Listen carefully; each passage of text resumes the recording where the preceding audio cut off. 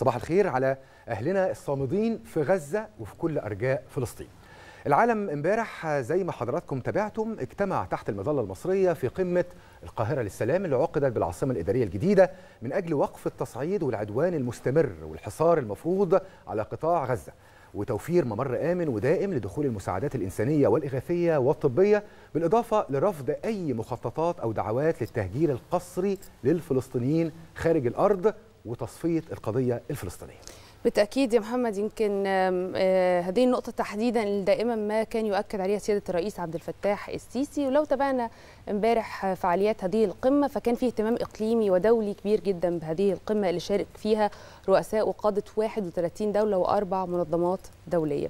ويعني زي ما تابعنا أيضا سرعة الاستجابة وحضور هذا العدد الكبير من القادة والزعماء في القمة والمشاركة الفعالة لأمين عام الأمم المتحدة. كل ده بيعكس دور مصر المحوري في حل القضية وبيثبت أيضا حرص هذه الدول على إيجاد حل للمشكله من خلال مصر اللي بتعتبر أيضا هي مفتاح حل للقضية الفلسطينية. امبارح مصر قدمت للعالم حقيقة ما يحدث في غزة وحقيقة تعرض المواطنين لأقصى الانتهاكات التي لا يتخيلها ولا يتقبلها بشر. أيضا مخالفة هذه الأفعال المخالفة لجميع المواثيق الدولية واللي وضعت العالم أمام أزمة حقيقية لأنها بمنتهى البساطة وضعت العالم أمام نفسه. ولابد يعني وجد العالم وقاده الدول اللي كانت موجودة في هذه القمة يعني خلاص وصلوا إنه لازم يكون في حل لهذه القضية. الحل دايما بيبدأ من مصر من البوابة المصرية بوابة الحلول للمنطقة ومفتاح حل القضية الفلسطينية. تاريخيا ده كان موجود وامبارح شفنا حضور حقيقي لمعظم قادة الدول اللي تحدثوا في القمة وأكدوا بشكل مباشر إنه رفضهم الكامل لتجاوزات اللي حصلت في غزة الانتهاكات المستمرة في حق المواطنين والحفاظ على المدنيين الأبرياء تجنبهم أي أضرار أو أي ويلات تحدث من الحروب.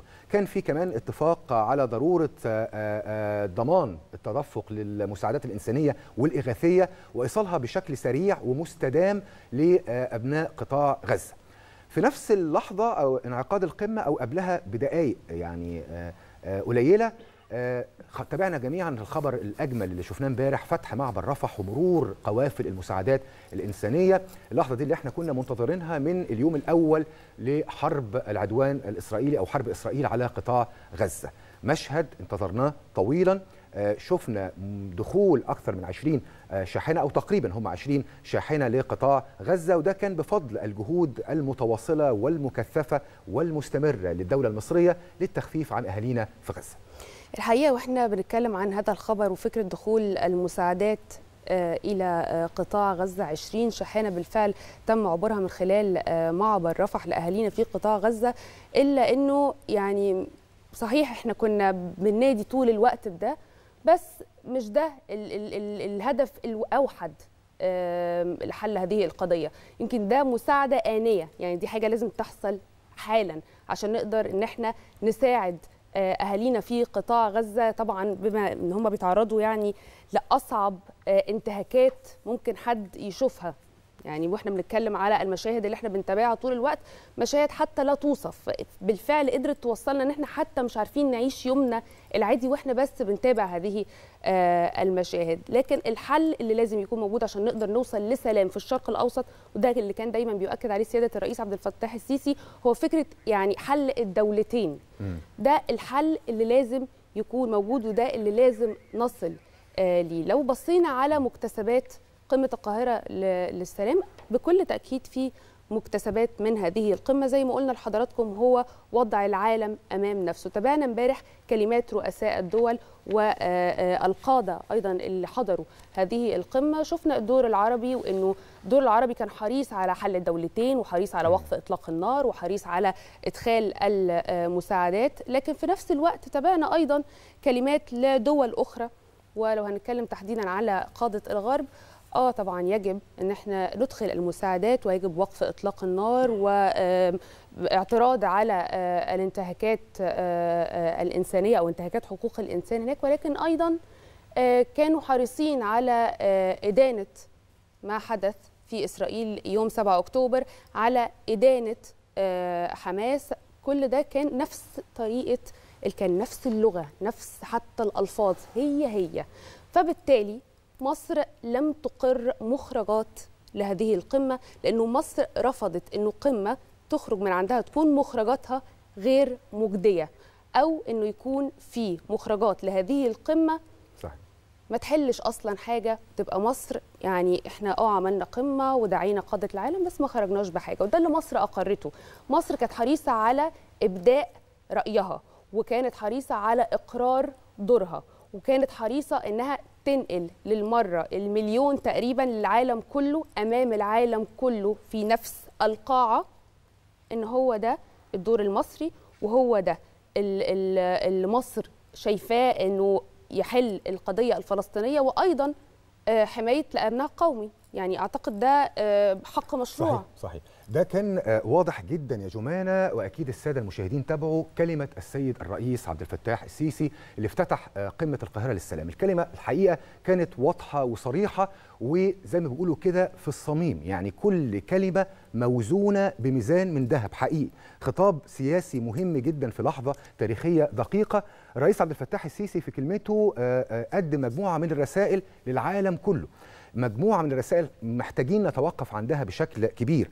الحديث عن خارطة طريق يعني إحنا قدمنا أو في خطاب السيد الرئيس قدم خارطة طريق للمجتمع الدولي بتبدأ بضمان التدفق الكامل والآمن والسريع.